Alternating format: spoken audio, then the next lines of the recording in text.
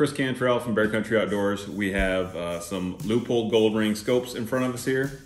And uh, we're gonna start out with the uh, VX3 HD. This is their new HD uh, line. It has a CDS turret on it. So their CDS turrets, you get one for free. Um, so you can dial these in specifically to your load for your rifle. This one's gonna go on a 308. We're gonna work up a 168 grain load. You send them in all your information. They send you a turret back with your yardages on it. It's very, very easy. Very nice scope. The next one, we have a VX5 HD. And this one has a little bit bigger main tube. This is a one inch main tube. This is a 30 mil main tube. And this is their uh, three to 15 by 44. It's one of the most lightweight scopes you can get in that magnification. It's an excellent bang for your buck at 19.7 ounces. Uh, it's pretty tough to beat. This one is their VX6 HD and it has their new turret on it. It's the uh, TZL3 and it looks a little different. It sits a little more proud. It's got more elevation range. So long range hunters like myself and the guys from Bear Country, uh, we use this a lot on some of our hunts in Montana where it's a little more open if you're gonna take a longer shot. Um, all of these are, are great long range scopes, um, but I really, really like this turret. It works really well. I've used it on a bunch of hunts all over the western states, and uh, again, just a great scope, highly recommend. Okay, we're gonna start off with the uh, new VX3 HD. So what they've done here with this scope is they have added a, a CDS ZL turret, which is uh, ZL's their zero lock. So why do you want a zero lock?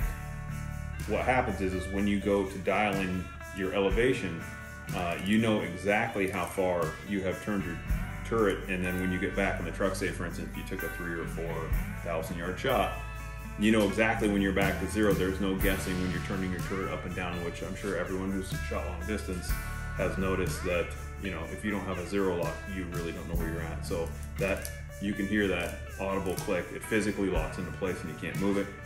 Uh, they have a quarter minute uh, adjustment on here.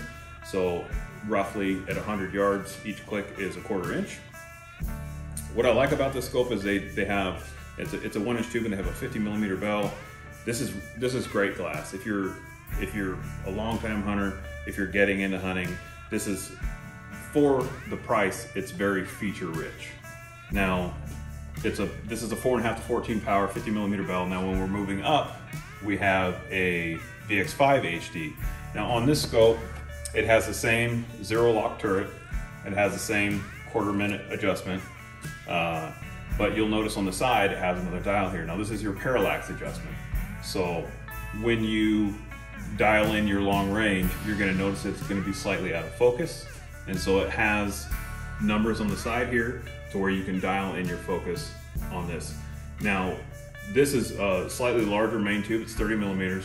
This is gonna have a little higher power and a little wider range. So with the VX3 HD to VX5 HD and the VX6 HD, what those numbers stand for, the 3, the 5, and the 6, is the optical magnification. So this is a three times scope. So it's three times the power.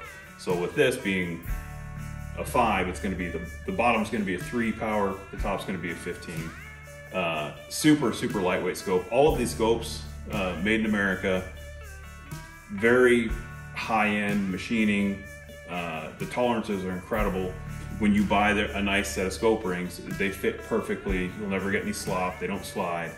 Um, moving on to the VX6 HD, they have their brand new turret on here, which is their TZL3.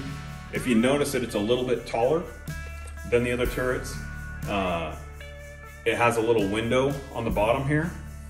And on that window, you can see how many times that you've rotated your turret so you're getting extra adjustment out of this.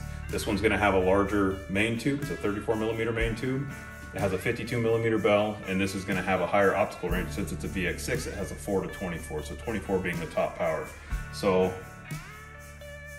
if you're gonna shoot long range, you can you can shoot long range with this scope, but if you want more power, you can move up through the ranks and have a four to 24, it's a really, really good hunting range. It still has a very low end magnification, so if you're hunting in the woods, say, you know, you're taking 50, 75 yard shots, but there's no reason you can't shoot this scope a mile as well, and which which we do. So we have this uh, VX5 here, and we have the same scope, the VX6 on this 28 Nosler, and we've shot this well over a mile, and, and no problems, been 24 power.